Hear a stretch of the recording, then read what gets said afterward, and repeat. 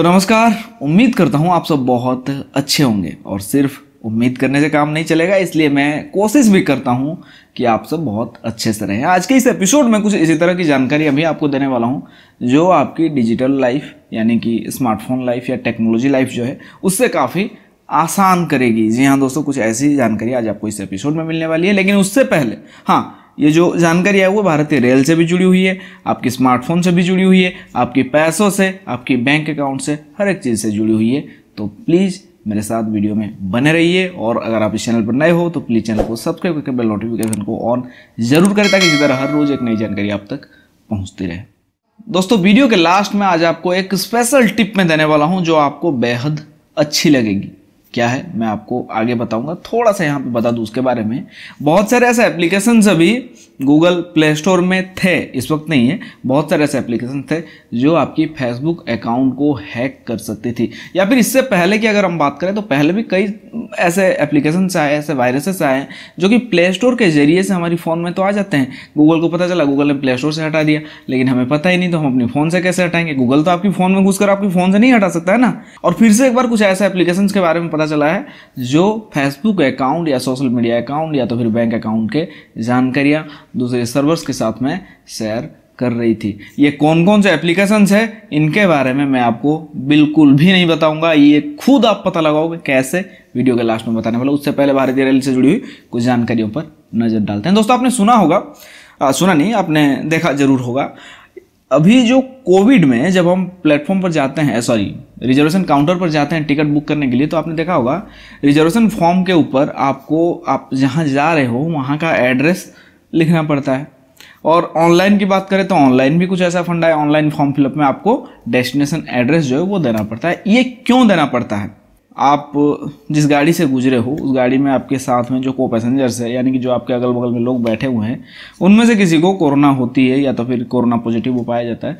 तो ऐसे में उसके आसपास के लोगों को क्वारंटाइन किया जा सके, पता लगा के। तो सिर्फ़ कोरोना मरीजों के बारे में पता लगाने के लिए भारतीय रेल ने ये शुरुआत की थी। हालाँकि अगर बीच में हम बात करें तो बीच में जब कोरोना में थोड़ी सी ढील दे दी गई थी, तब भी ये चीज़ें जो है नहीं रुकी थी, लेकिन पिन कोड देना ज़रूरी नहीं था, पिन कोड नहीं देकर आप सिर्फ़ एड्रेस लिख कर भी फॉर्म फिलअप कर सकते हैं। लेकिन इन दिनों दोस्तों, अब क्या हो गया, आप काउंटर से जब टिकट बुक करोगे, हालाँकि ऑनलाइन में तो होता ही होता है पिन कोड काउंटर से जब आप टिकट बुक करोगे तो आपको यहाँ रिजर्वेशन फॉर्म के ऊपर में पिन कोड देना ज़रूरी है। पिन कोड अगर आप स्किप कर देते हो, देते नहीं हो तो आपकी टिकट बुक नहीं हो पाएगी। एक ताज़ा रिपोर्ट के मुताबिक धनबाद रेलवे स्टेशन पर काफ़ी लंबी लाइनें लग जाती है क्योंकि लोग यहाँ पिन कोड लोगों को नहीं पता था, बहुत से लोग जो है अनपढ़ थे।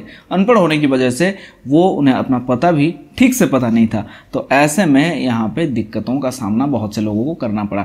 तो इसीलिए मैं मेरी आपसे गुजारिश है कि आप जब भी काउंटर पर जाओ टिकट बुक कराने के लिए तो अगर आपको पता है तो बहुत अच्छी बात है और ज़्यादातर लोगों को पता ही है, लेकिन कुछ ऐसे लोग हैं जिनको पता नहीं है अपना पता।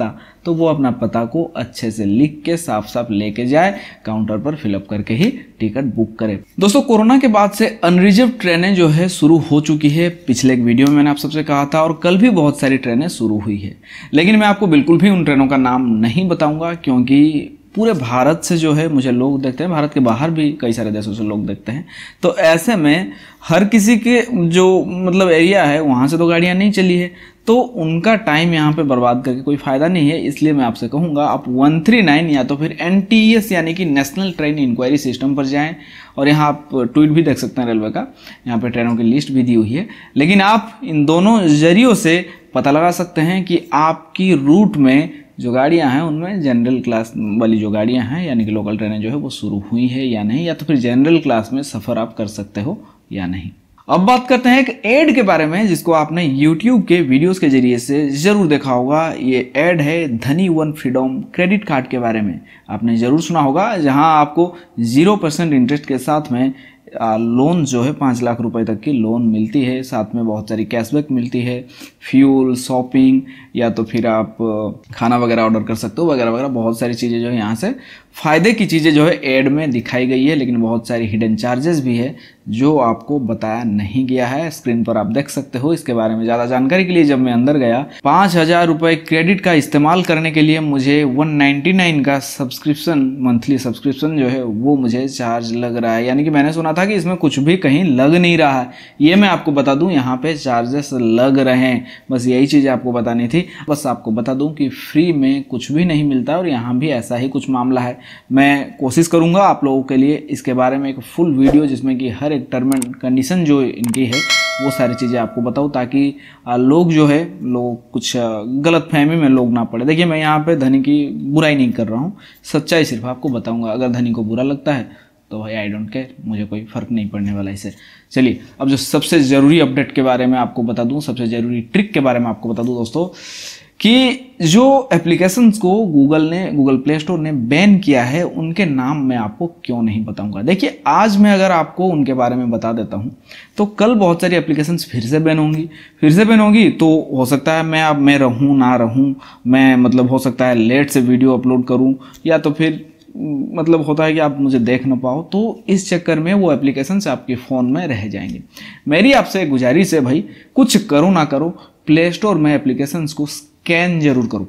पता है आपको कैसे करना है? चलिए बता देता हूँ। एप्लीकेशन को स्कैन करने के लिए आपको अपनी एंड्रॉइड डिवाइस में गूगल प्ले स्टोर को ओपन कर लेना है। उसके बाद आपको अपनी ईमेल आईडी का जो पिक्चर लगा हुआ है, यहाँ पे आप देख सकते हैं राइट साइड ऊपर में, इस पर आपको क्लिक करनी है। क्लिक करने के बाद आपको जाना होगा manage app apps and device पर। जैसे ही आप इस पर जाओगे तो यहाँ आप देख सकते हो नो हार्मफुल एप्स फाउंड इस पर आपको क्लिक करना है स्कैन का एक ऑप्शन मिल जाएगा, इस पर आपको क्लिक करना है। ये स्कैन करके आपको बता देगी कि कौन सी एप्लीकेशन सही है और कौन सी एप्लीकेशन आपके लिए सेहतमंद नहीं है। अगर कोई harmful app Google Play Store के ज़रिए से आपके फ़ोन में आ चुके हैं गूगल को पता चलने के बाद गूगल ने उसे हटा दिया अपनी प्ले स्टोर से। लेकिन गूगल आपकी फ़ोन से नहीं हटा सकती है। इसलिए आप इसको जब स्कैन करोगे तो यहाँ पे गूगल आपको बता देगी कि भैया, इससे जो है हमने हटा दिया है।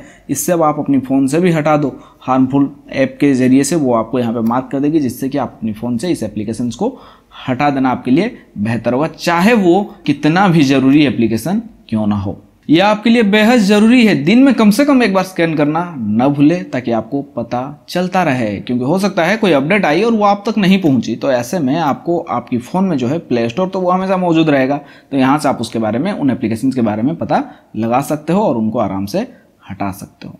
दोस्तों, मुझे लगता है आपको ये वीडियो अच्छी ज़रूर लगेगी। वीडियो अगर अच्छी लगती है वीडियो को लाइक करें जानकारी को दूसरों तक पहुँचाने के लिए वीडियो को शेयर ज़रूर करें। फ़िलहाल मैं चलता हूँ, फिर मिलूँगा एक और नई जानकारी के साथ। तब तक के लिए टेक केयर बाय बाय